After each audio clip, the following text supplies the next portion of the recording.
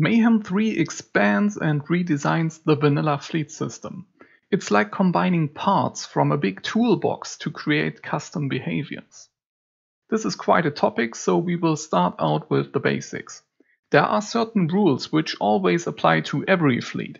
I think these are very important to understand why your ships are doing what they are doing and to which degree you can even tweak that.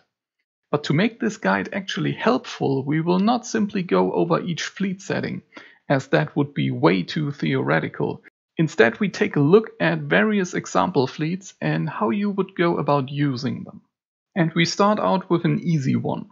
To get competitive in Mayhem 3, you likely have to concentrate most of your ships into battle fleets of varying size. During the early game, when you are still fairly weak, you likely also have just one single fleet that you control or even lead personally to make the most out of limited resources. A typical example is that ragtag band of fighters or corvettes you might have assembled during the first ascension stage of your playthrough. Like this group here. We have a Marlin corvette, a TM and a bunch of fighters. Now you might have established your first sector and at some point you probably want to take all those ships out to destroy some pirate corvettes. Or a small Xenon patrol which is creeping up on your new sector. Yes, I already consider such battles to be major battles. It doesn't matter what you have, whenever most of your assets are on the line, it is a big deal. Later you might form your first bigger invasion fleet to take a pirate base down. And even later, when you are invading other factions, you still often have rather important battles. The ones where the stakes are really high and you care a lot. All of those important early game engagements usually have one thing in common. They have your full attention already activating too many fleet automation features will actually often mess with your battle plans. In this case, less is more. Okay, let's get to it. We create our first fleet by promoting the Marlin to become a fleet commander. Then we add the fighters to his fleet. This list will give you all ships in the same sector and simply by clicking on them you add them to the fleet. Now we head over to the fleet settings. Make sure to assign this screen to an easy to reach hotkey. You can find it in the extension settings.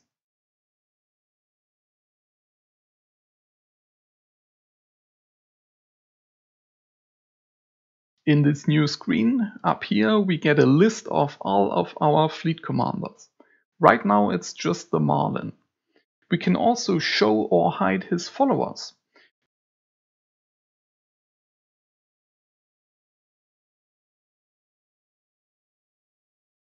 To activate the fleet, simply click on this button, Followers Join with Commander. For now we disable auto repair. Set this retreat setting to no retreat and this range setting to 10 kilometers. That's all we do for now. The fleet is operational and we can hop into the Marlin and attack our enemy. Our fleet will attack as soon as we fly closer than 10 kilometers to an enemy. That's the earliest and easiest to use fleet setup. So before we head into more advanced stuff, let's quickly go over some basics. Each fleet has a command ship. In this case it's the Marlin. It's our fleet centerpiece. He determines where the fleet is going on the galaxy map. All fighters and the TM always want to be in the same sector as the Marlin. If the Marlin leaves sector, all ships will abort what they are currently doing and try to immediately catch up with him again. Then there are so-called fleet followers. These are the TM and the fighters which are flying in space. These ships are supposed to be entirely controlled by the customizable fleet settings system, which means as long as you want it to work, you can never give any manual orders to these follower ships. I'm not opening the command console for the TM and give him an attack order. I'm only telling the Marlin what to do. Everything is able to run either completely automated or adjust it quickly inside the fleet settings screen. For example, If I want my fleet to currently not attack any enemies nearby, I reduce this range setting to zero. And then there are support ships. Right now these are the four fighters which have docked to the TM. Support ships always behave the same. You generally cannot customize what they do. On default, the Marlin does nothing on its own. You have to tell him where to go and what to do. For this purpose you can use his special fleet commands, but you don't have to. These are actually also only running on a single ship, the Marlin itself. They have nothing to do with the behavior of the other ships. So giving the Marlin a simple move to position order will be the same thing as giving him the fleet command to rally to a location.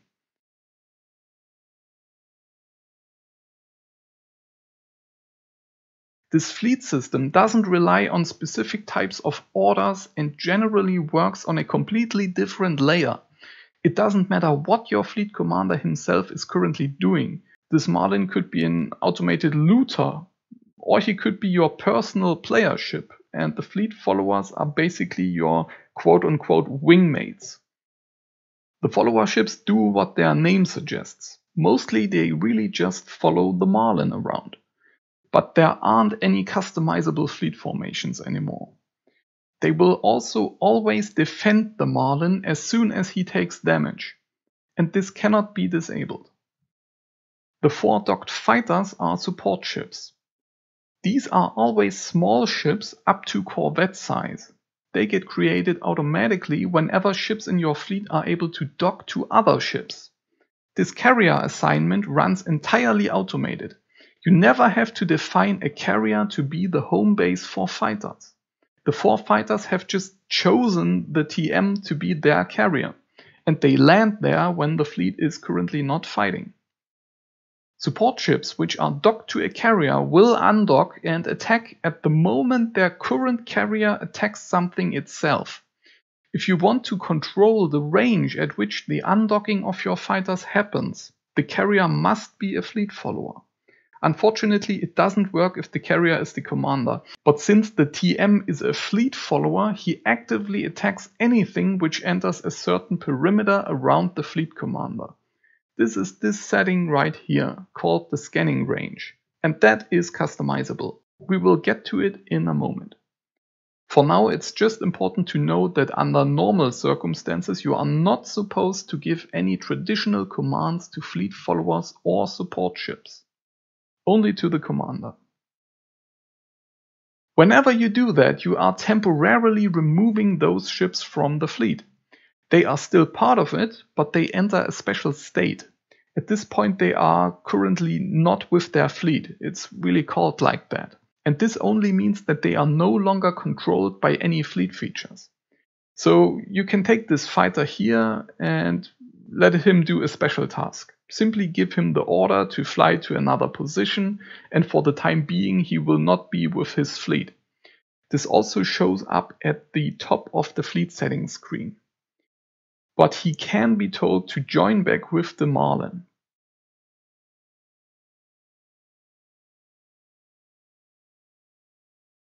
And you can also call all fleet ships to join with the fleet again with this button in the fleet settings screen.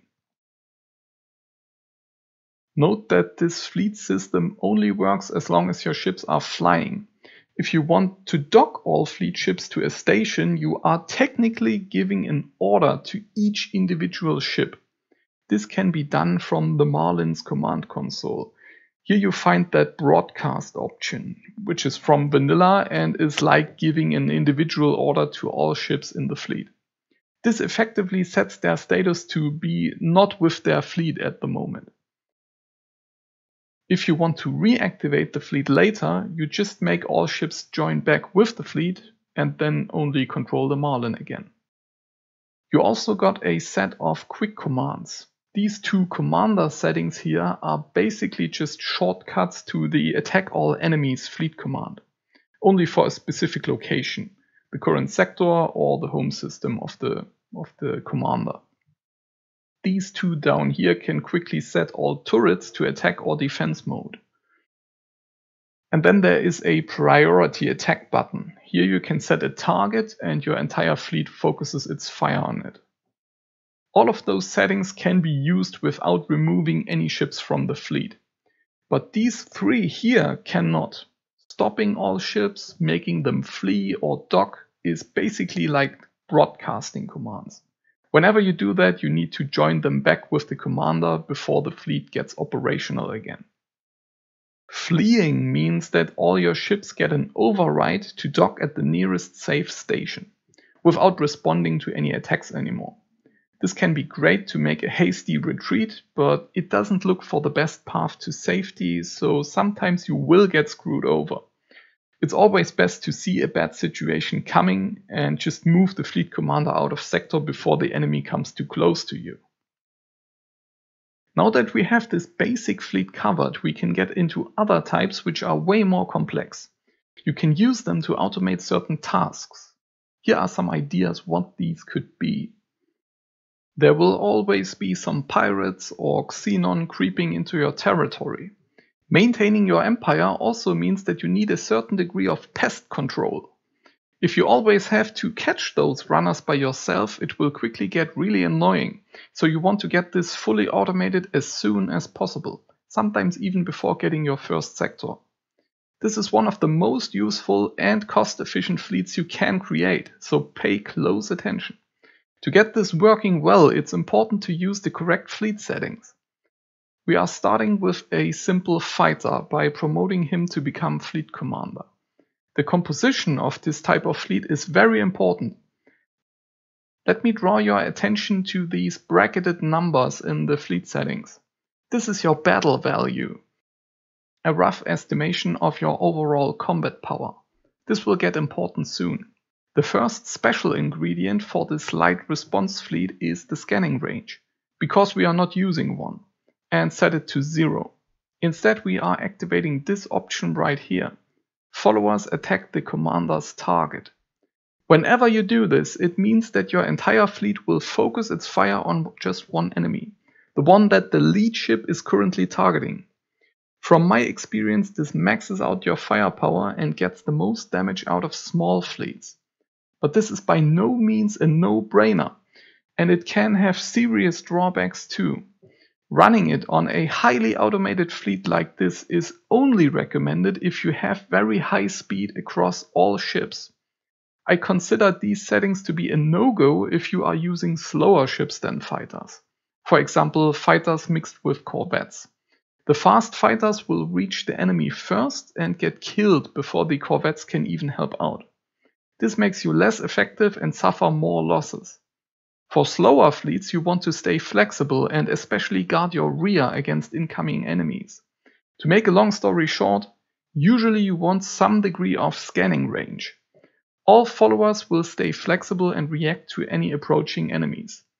It's only this time that I'm not using a scanning range because I'm only gonna have fighters in this fleet and I want them to focus their fire. And in this case I can get away with it because all types of enemies which could get dangerous to this fleet are unlikely to even catch and fight it. So in this special case it is very useful to disable and the fleet will draw much less attention. Your fighters will not engage random enemies and instead focus all firepower on single targets. With only very few cheap fighters you can seriously screw up the pirates one after another. We also use auto repair. If a fighter gets damaged, he heads out to an outpost, repairs for free, and then comes back. Just so you know, this technically also sets the status of the follower to be not with their fleet for the time being. Just like if you just told them to dock. But with this automatic repair option, the follower will come back on its own when he is done with the repairs. Since we mostly guard our own or nearby friendly sectors, the next outpost is usually never far away, so going for repairs will always be quick and safe. Definitely use this option. The retreat setting allows this fleet to be a pain in the butt for all bigger enemies. They try to stay alive by fleeing from everything they cannot defeat. We intend to make them avoid pirate corvettes. Now the battle value gets important. Your own value gets compared with the strength of all enemies in the sector. And the ratio you set here determines when your fleet commander is going to lose his nerves and retreat from the sector. It's one of those features that only affect the commander's ship. His followers are completely unaffected. But since we are not using a scanning range, his fleet followers won't engage on their own. And unless they are already fighting, they just follow him safely out of the danger zone. This doesn't work all the time. Sometimes an enemy pops up right in front of you, sometimes the retreat move leads straight into other enemies. It won't be perfect, but usually it does a damn well job to keep these fragile types of fleets out of trouble. But only if your own battle value is not too high.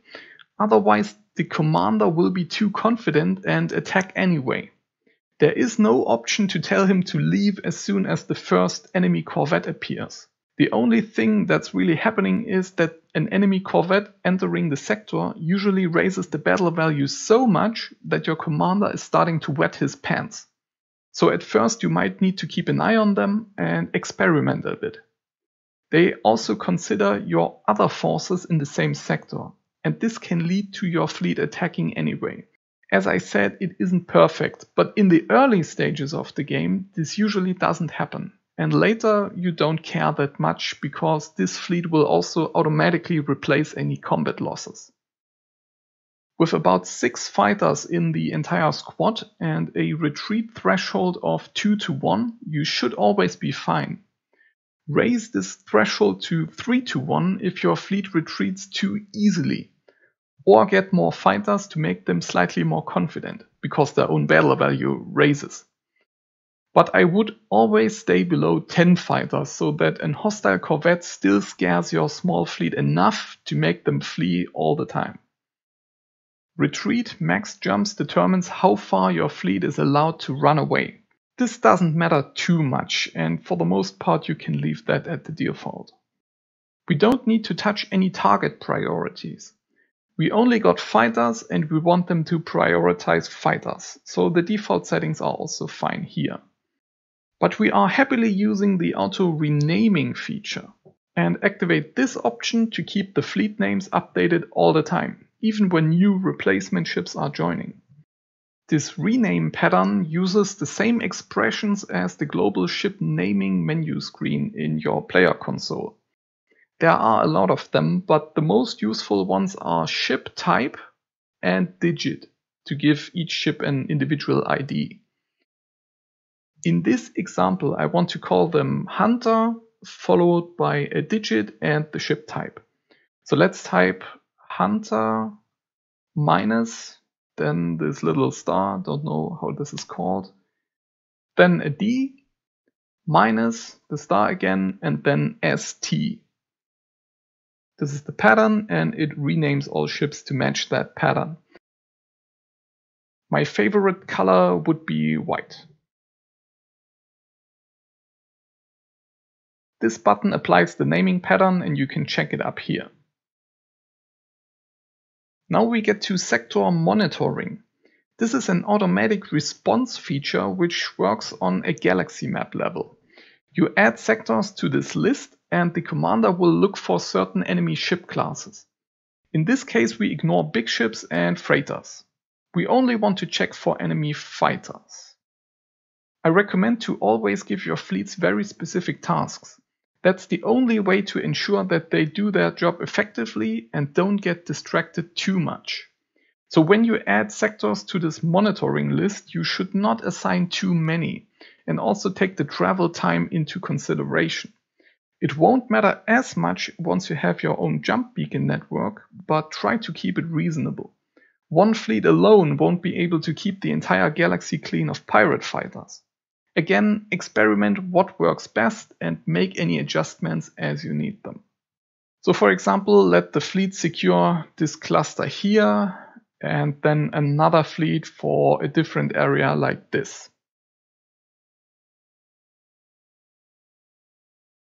Finally, we set a quota for reinforcements. This tells your outpost to rebuild new ships if old ones get destroyed. And we can also use it to get our first fleet followers going. There is no need to do the additional clicks for building ships first and then assigning them to the fleet. It's way easier to just set an outpost which is able to build the ships right here and then add the ship template. Since this video is long enough, I won't cover how to create these templates again. I said we wanted 6 fighters, so I'm adding the fighter template 5 times because this reinforcement feature won't count the commander's ship. And voila! Our fleet is complete. Your commander should not head out until he gets the first reinforcement ships, because only that will raise his battle value and make him confident enough to go and respond into the sectors to the various threats he detects. Once he is on location, he will start attacking anything he can find. His followers focus their fire on the same target, but if an enemy corvette enters, the commander will soon retreat. And at the latest, when your commander leaves the sector, all followers will also abort what they are doing and get back to him. Since in this case all our ships are very fast, this works out pretty well in most situations. Sometimes it fails, especially if we have other forces in the area which make the commander overestimate himself, but then the outpost will build replacement ships on its own, and early on it doesn't happen that often. Okay, without all the little annoying flyers around, you still have to deal with the occasional medium-scale pirate raid or xenon patrol. Early on you will have to concentrate all your available forces and meet them personally on the field of glory with low automation going on.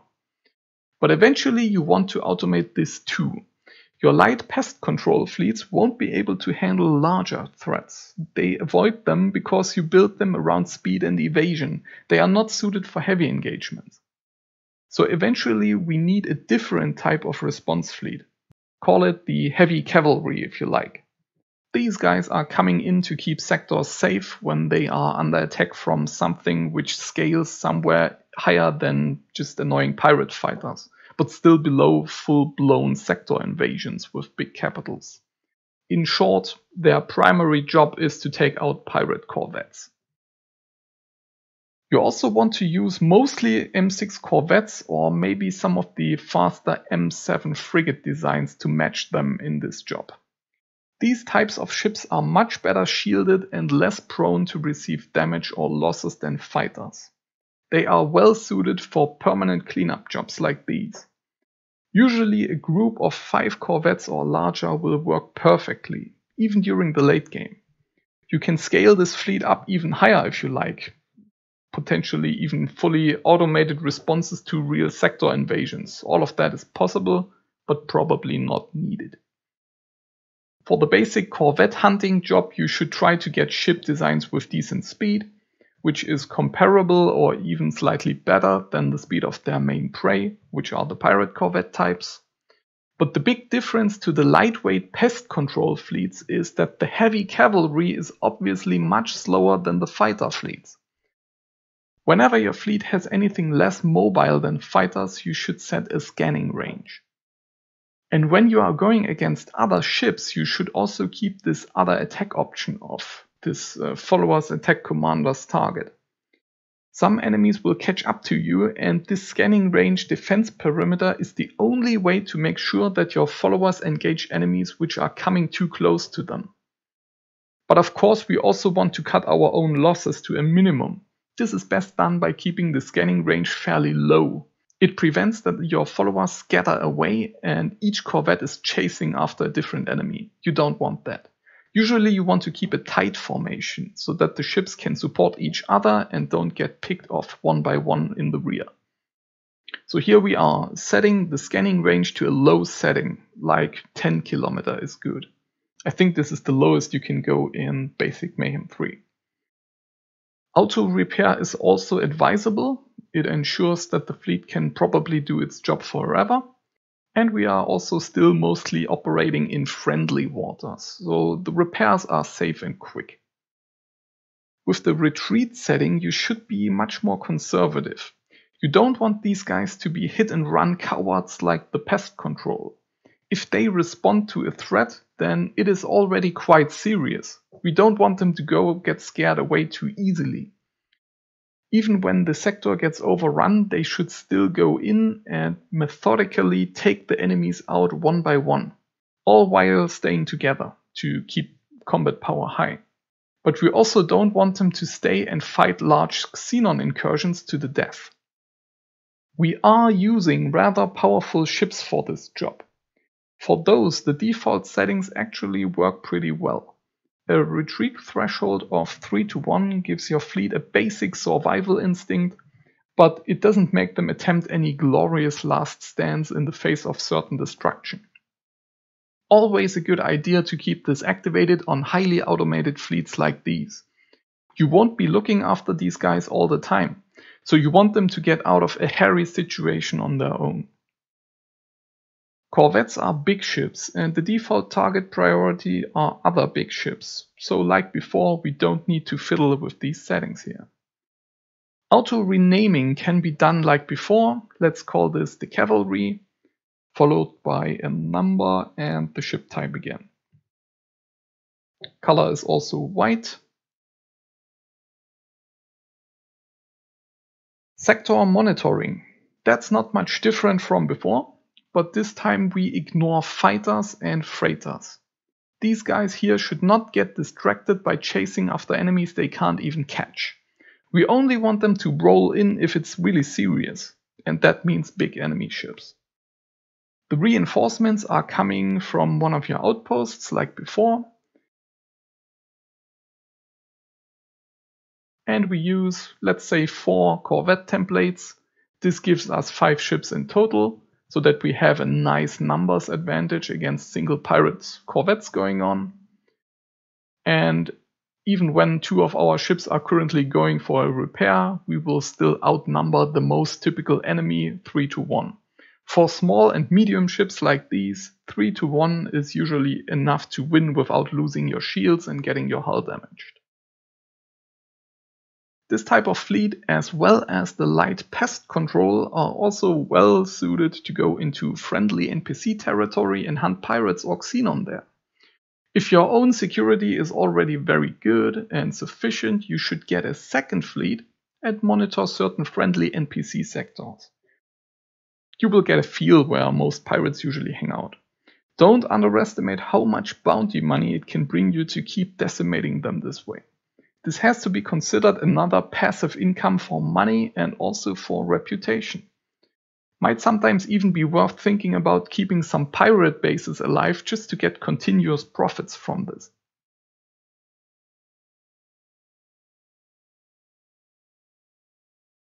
Here we have a wonderful example of how flexible this fleet system can be used. It's a very good idea to assign some fighter escorts to your automated freighter workers. Now later into the game this will get too tedious to do for every worker ship, but early game this is another type of fleet which costs you very little but can have spectacular results. It will keep your economy safe and running. So we could just tell a fighter to protect the trader, right? But that's lame. How about this? We simply take this trader here. He's already running his worker task. Now I promote him to become a fleet commander and we can find him in the fleet settings.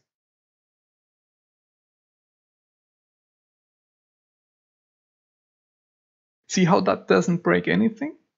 It doesn't matter what your fleet commander is or what he does. He can be anything. But this time we don't want him to clutter our list here, so let's hide him.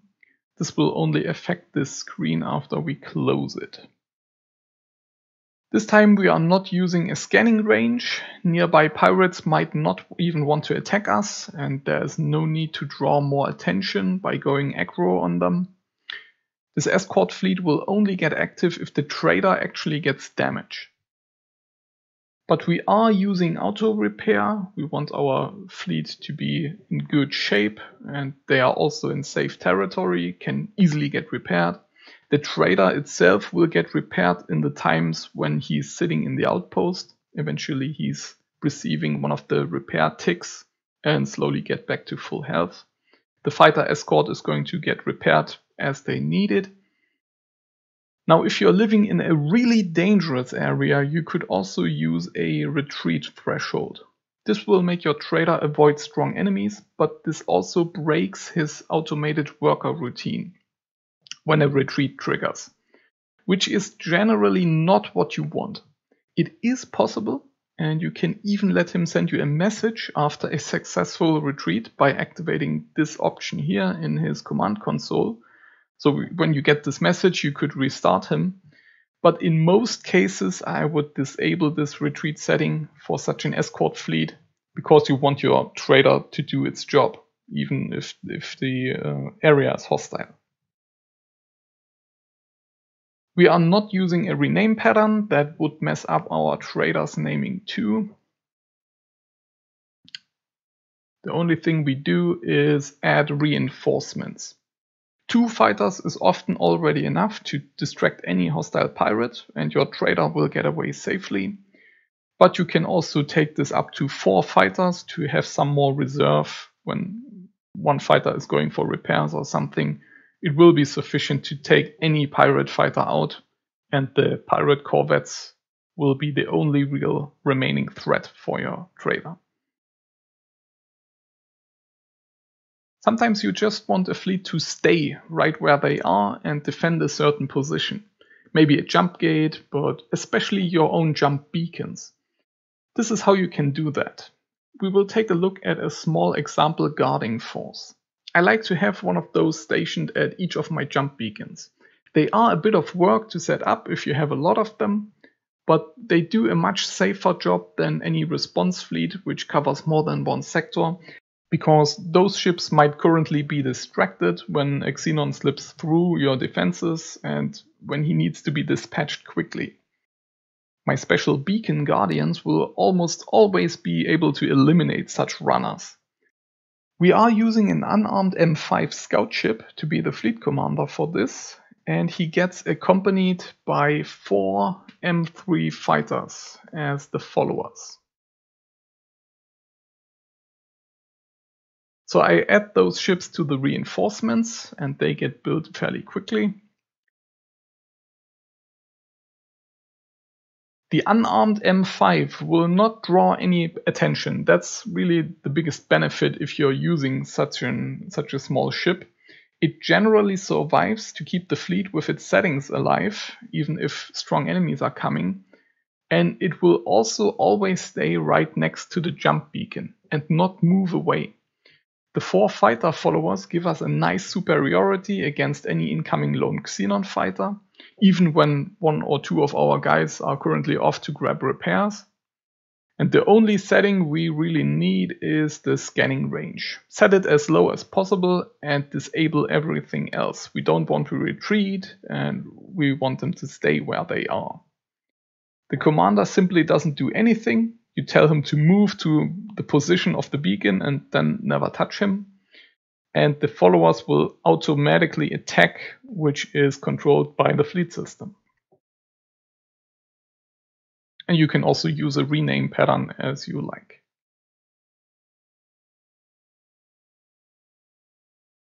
But any larger threats should be dealt with by your pest control and cavalry responses. These Guardians are really just the last defenders against the odd Xenon who slipped through and who is now trying to infect your jump beacons. You don't need to set up defenses this way, but this could be a solution if you always seem to have trouble with certain jump beacons getting infected. In this case, you can just try this fleet and I think it will work out for you.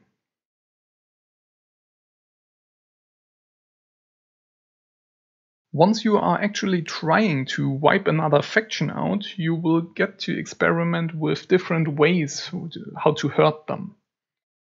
If you just destroy their fleets in big battle after big battle at the border, you might still win the war. But a much more sinister and efficient strategy is to cut their resource supplies. You can specifically target economy ships and destroy the resources they are carrying towards their ship crafting outposts.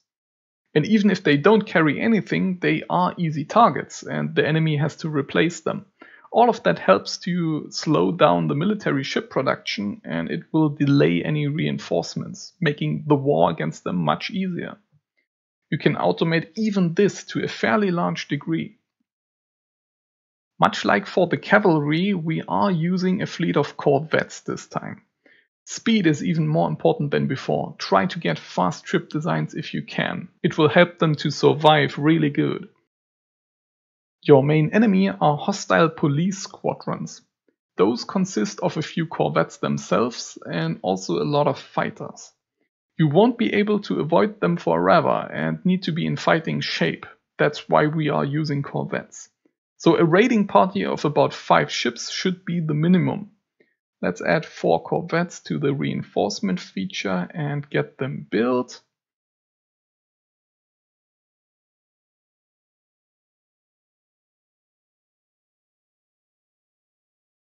You also don't want to invest too much into such raiding fleets because these guys have a much higher risk than anyone else. It's probably the most dangerous job you can give one of your fleets. And you shouldn't expect them to live forever. Their job is just to deal as much chaos as they can get and then maybe get back home. Maybe. But oftentimes the way back home also gets cut off from a large fleet and you might have some trouble to get them to friendly waters again. But usually they can do much more damage than they cost themselves so it is often really worth it to bring a faction down. Their preferred hunting grounds are sectors without any military presence, obviously. You will need to place satellites manually with remote controlled scout ships. There is no option to get an automatic satellite coverage over enemy sectors. You really have to go in and drop the satellite from the freight bay. That's the the only solution I found for this. Uh, because you need the satellite coverage for your ships to detect the freighters and then go after them. The enemy will slowly take your satellites out, but this usually takes him many hours. Enough to get your raiding party in a good hunting zone, and again, look for completely undefended sectors with a lot of civilian travel around, especially supply ships, as these are the AI's agents and they are bringing in the most resources to the outposts. Select a few promising sectors that you have satellites in and add those to the monitored sectors list. And also tell them to ignore big ships and fighters. They should only check for freighters and then go there to take them out. Since this is a fleet which is much slower than fighters, we always use a scanning range. Depending on the enemy military density, you can keep this rather low to stay together and have a better chance to fight against incoming police squads, or raise it a bit higher to make your corvettes spread out and kill the NPC freighters more quickly. Don't use auto repair on this fleet, it is operating deep inside hostile territory there is usually no way to quickly get to one of your outposts, and it would only make your slow and damaged ships split away and then get killed quickly on their way back. So don't use auto repair. Instead, you try to keep an eye on these guys and maybe get all of them to safety if they have received too much damage and it's time to go, go back home and restock and repair. You also want to add a certain retreat behavior into the mix. These guys definitely cannot stand up against strong enemy squadrons like task forces or border patrols, and you need them to leave when such fleets appear. But it is actually a bit more tricky since the enemy usually has a much higher total battle value in these sectors than you. So don't set this too low either, because even all the civilian freighters will all add a little bit of battle value to the enemy's force. And you should start out with something like 1 to 4 and see how that goes. So only when the enemy battle value is more than 4 times higher than your own, then the corvettes will go away from this sector. Then you can set the target priorities for your big ships from attacking other big ships uh, to attack fighters. That's a good idea because that makes them not always run straight to the police squadrons, which also have corvettes, and they usually focus a bit better on the NPC freighters. Then you can set a rename pattern and you are good to go.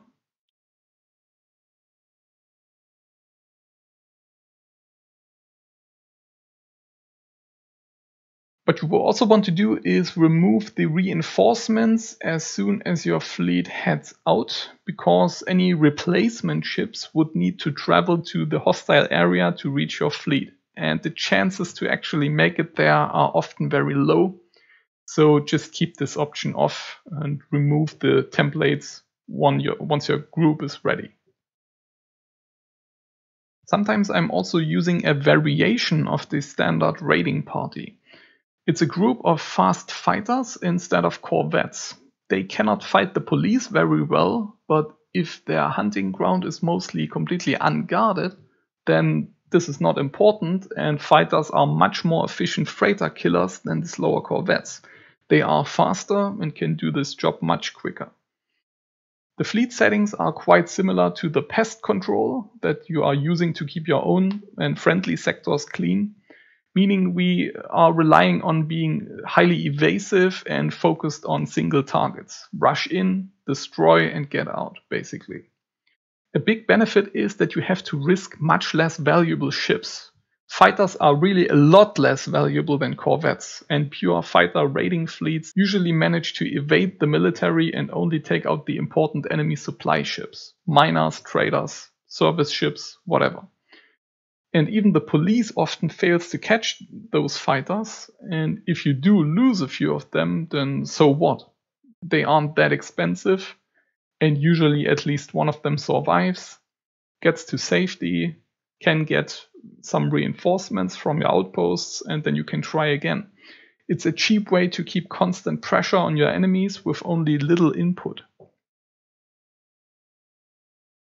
But keep the retreat threshold a bit higher this time. Your fleet has a fairly low battle value and you want them to still stay where they are, even when there are a few hostiles around. So maybe use 1 to 5 or 1 to 6 this time, uh, because otherwise they won't even go in these sectors. The response feature is only working, the sector monitoring response is only working if the battle value of the enemy doesn't exceed your retreat threshold. Auto repair can also sometimes be worth it for these guys. You are losing a bunch of them because they are fighters. And even damaged, your fighters are often fast enough to get back home, slip past the enemy. But for most raiding groups, I'm not using auto repairs that much and also the reinforcement feature. It's just too much of a risk to have these single ships which are traveling to or from your fleet through hostile sectors that they get picked off by enemies. Some escort or a police squad usually kills them and it's not, not just worth them. Your best defense in a hostile situation is really the group. Even if your ships are damaged, try to keep them in the field. And when you think it's time to get home, then bring them all back home at once. Okay, finally, let's talk about some of the limitations of this fleet system. The stuff that's not working all that well, in my opinion. First, we have station destruction. When you give your commander the fleet order to invade a sector, he will first try to kill all hostile military ships and then go and tries to destroy the stations. Your followers are following him, obviously, through all of that and only attack if enemy ships get inside their scanning range. That is what keeps your fleet in a tight formation and usually ensures that you receive low loss rates. But what doesn't work is that followers attack stations inside the scanning range. They only look for ships. Stations get ignored.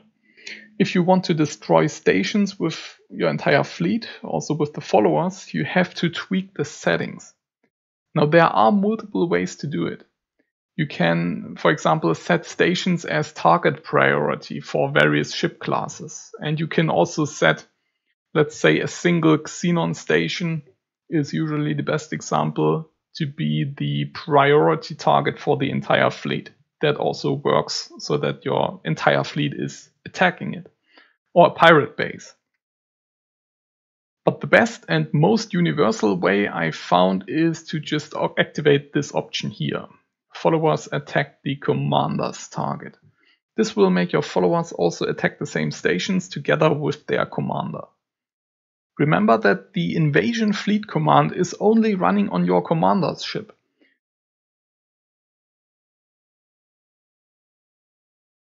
The follower ships are only controlled by the settings in this fleet settings screen. It does work quite decently with this option here if you also keep a follower scanning range active. The target priority of your followers is to attack enemies which are entering their scanning range first, and only then continue to attack the same station as their commander, because it's his target. So they will still react to new military fleets and defend themselves, if need be, and that is exactly what you want. Uh, there is not a better option which offers this flexibility, that they react to new enemies. Okay, so a completely different but other common problem is that the fleet leader is taking damage and getting slower. There is no easy remedy for that, and I recommend to just ignore any light damage altogether. It often even helps to keep your fleet together because the, as the commander gets slower, the followers can more easily catch up with him. But yeah, if he gets heavily damaged, you might want to switch him out so that he can go and repair. But for the most part, it doesn't matter too much if your fleet is slightly slower because if your commander is very fast, then you will have many ships trailing uh, far behind him and you still have to wait some time before you have assembled all ships. So if your commander is a bit slower, all ships can keep up with him and you don't have these waiting times before a battle, before the ships have assembled. So it doesn't make too much of a difference. I mostly keep the commander uh, damaged. If they have like 20% hull damage, doesn't matter too much. Just ignore it. There are more pressing concerns. And finally, we have an yeah, quite serious issue if your fleet commander is a carrier. I've seen this a lot. People want to get these small carriers here and then use them as their command ship. The problem is that the fighters which are docked to this ship are support ships and not fleet followers. The scanning range setting that you can customize doesn't apply to support ships. It only affects follower ships. Support ships always get active as soon as the carrier attacks something. If the carrier is also your commander, your docked fighters will start to engage when the enemy is still very far away. Support ships don't recognize that this is stupid. They still undock, fly ahead, and get killed. Your commander is already attacking, and he is their home carrier. So if their home base is currently attacking, they think they also need to attack themselves. So what you need to do to prevent this is to get another ship without any docking ports to be your fleet commander.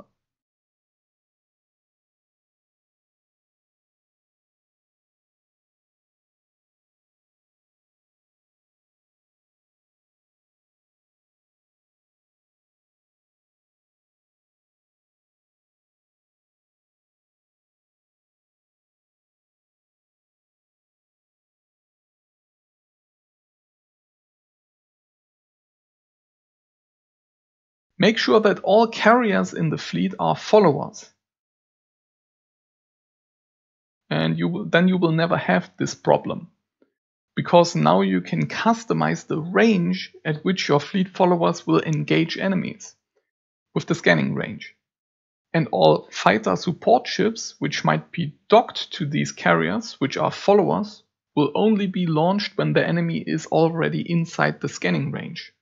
And that leads to this fact that the fleet as a whole stays together And that is what you want. For most fleets, when you are only fighting against other ships, make sure that this option here is disabled. This is basically an extension of the scanning range. This option, followers attack the commander's target. Usually you don't want that because you want your fleet to stay together until the enemy hits your scanning range. So that is what keeps your formation together. Keep this option disabled. It is required to kill stations. That's a bit unfortunate. But for the most part, in ship-to-ship -ship combat, keep this disabled and it will work pretty well. And that's it. Everything you need to know about fleets. I will likely do another guide video about general missile usage, how to resupply and how to use artillery ships, but that will not be the topic of today. Fly safe.